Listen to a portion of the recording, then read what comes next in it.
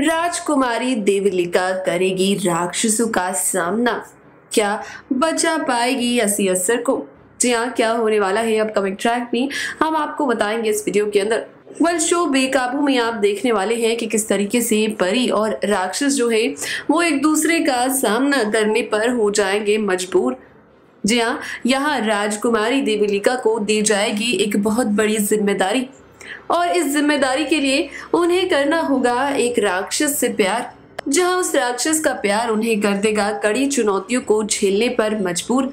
जी हाँ बेकाबू के ट्रैक में आप देखने वाले हैं कि किस तरीके से राजकुमारी देवलिका जो है, वो एक राक्षस से प्यार करती हुई नज़र आएँगी। और यहाँ राक्षस देवलिका को बताएँगे कि राक्षसों का प्यार होता है बेकाबू और उसकी नहीं होती कोई भी हदे।